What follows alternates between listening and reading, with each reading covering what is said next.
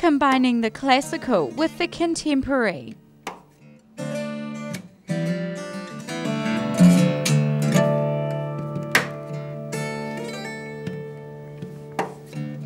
German folk musician Lutz Keller is in the city rehearsing for a public performance later this week.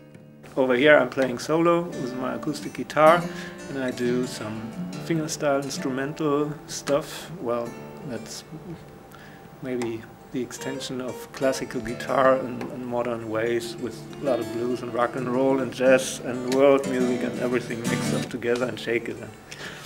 He's visiting his eldest daughter and grandchildren who have made Dunedin their home. While in New Zealand, he's taking the opportunity to showcase his musical talents. The German singer songwriter is playing on a steel string guitar using his fingers rather than a pick. You use it in a way a classical guitarist would do it, but uh, you do some more stuff sometimes. You can use uh, natural harmonies and artificial harmony notes and uh, tapping stuff. Keller was also in New Zealand a few years ago playing gigs and visiting family. In Germany, he creates his own material and plays with other musicians.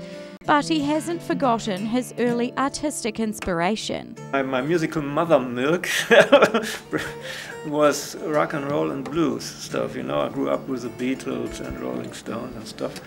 And uh, I started playing electric guitar in, in blues bands and, and yeah, cover bands. While in Dunedin, he's linking up with members of the new Edinburgh Folk Club, where he'll be performing on Sunday.